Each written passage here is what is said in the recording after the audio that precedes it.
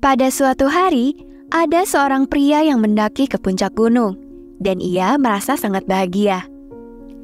Dia merasa bahwa dia adalah satu-satunya orang yang mendaki gunung itu. Tiba-tiba, matanya tertuju pada seorang biksu yang duduk sendirian dan sedang bermeditasi. Pria itu terkejut melihat biksu tersebut berada di tempat yang begitu sepi. Dengan rasa heran, dia mendekati biksu itu dan bertanya, "Apa yang Anda lakukan di tempat yang begitu sunyi ini? Apakah Anda tidak takut di tempat yang sepi seperti ini?" Biksu itu membuka matanya dan berkata, "Saya sedang bermeditasi. Saya tinggal sendirian di gunung ini, dan saya sama sekali tidak takut." Pria itu kembali bertanya dengan heran, "Bagaimana Anda bisa hidup sendirian di gunung ini?" Apakah Anda tidak merasa kesepian? Biksu itu tersenyum dan berkata, Kesendirian selama ini selalu dikaitkan dengan sudut pandang yang negatif, dan orang-orang sering mencoba menghindarinya. Tetapi, kenyataannya ada banyak keuntungan dari kesendirian. Karena itulah saya lebih suka menyendiri. Mendengar hal ini, sang pria berkata, "Tuan, saya tinggal di kota di mana kehidupan begitu sibuk. Saya selalu berada di antara rekan kerja, teman, atau anggota keluarga. Oleh karena itu, saya tidak terbiasa hidup sendirian. Setiap kali saya sendirian, saya merasa bosan dan pikiran-pikiran negatif mulai muncul dalam pikiran saya.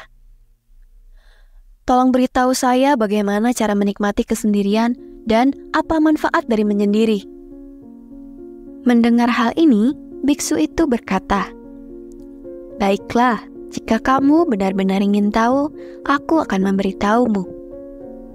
Kemudian, biksu itu mulai menjelaskan, "Keuntungan pertama dari hidup menyendiri adalah dapat membuatmu lebih efisien." Orang yang banyak menghabiskan waktu menyendiri cenderung lebih efisien dalam bekerja.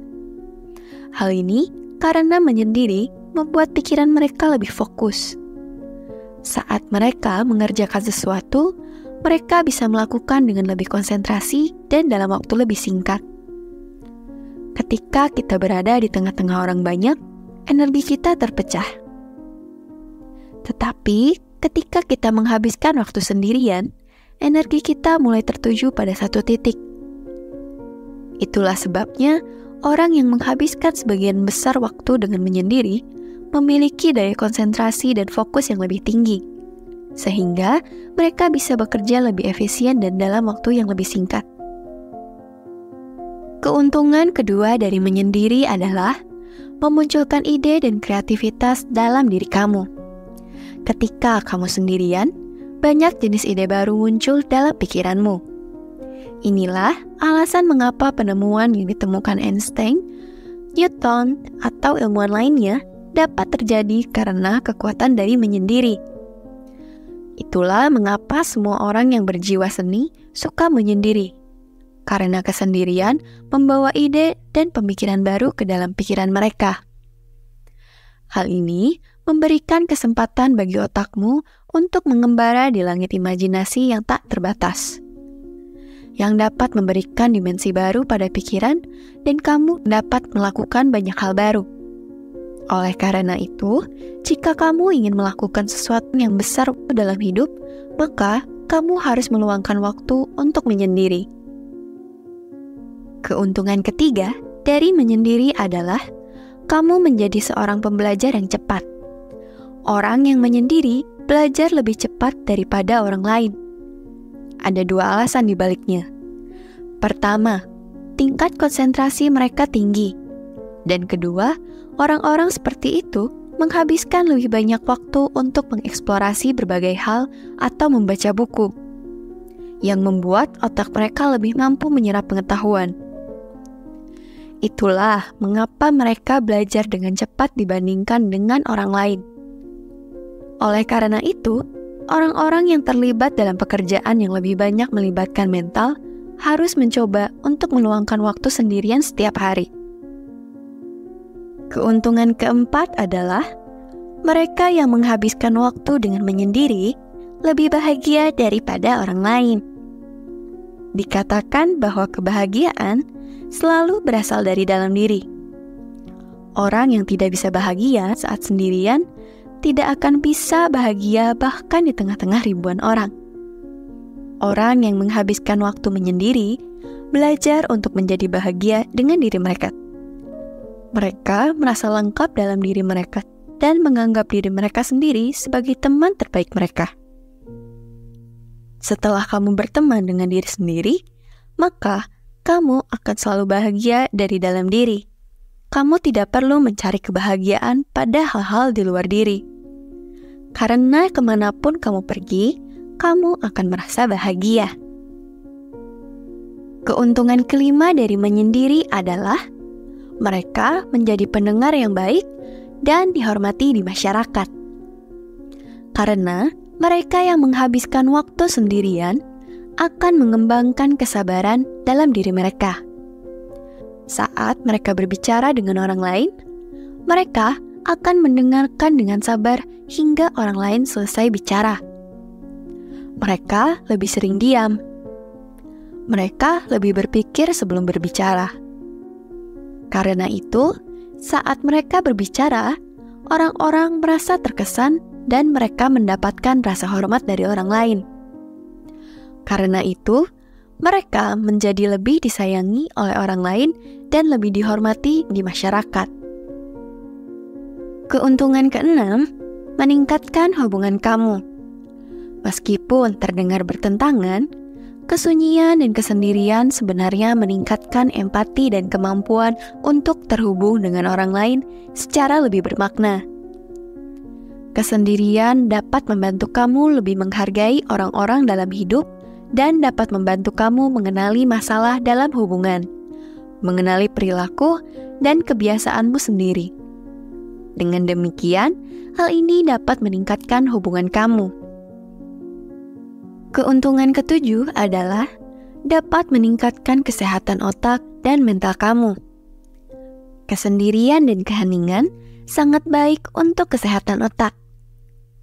Hal ini membuat pikiran kamu tenang dan damai, sehingga otak kamu mulai memproduksi lebih sedikit kortisol, yang merupakan hormon stres, dan mulai memproduksi lebih banyak dopamin dan serotonin, yang merupakan hormon kebahagiaan.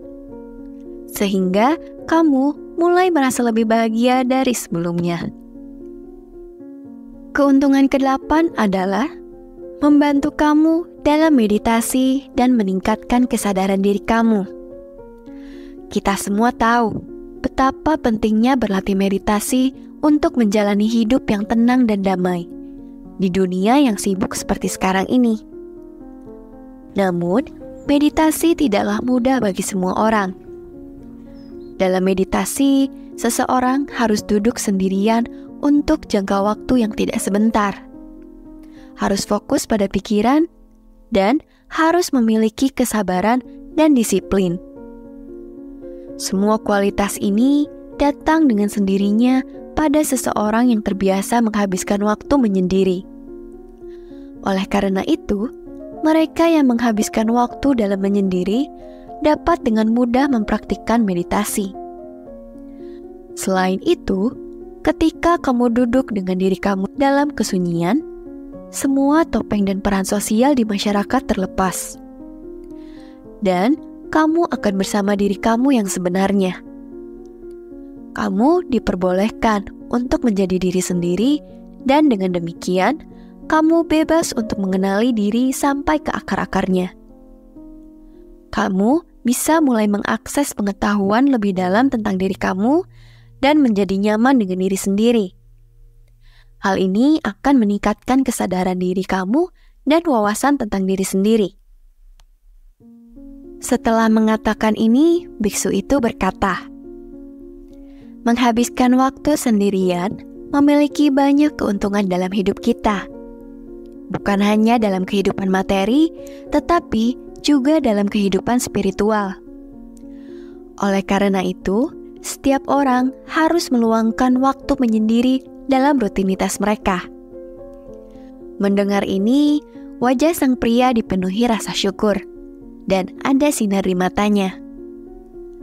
Di dalam hatinya, ia merenungkan kata-kata sang biksu dan memutuskan untuk meluangkan waktu setiap hari untuk menyendiri.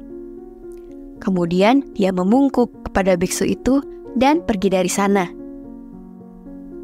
Jadi, jika sobat pijak juga meluangkan waktu setiap harinya untuk menyendiri, maka sobat bijak dapat mengambil manfaat yang tentunya akan mengubah nasib sobat bijak.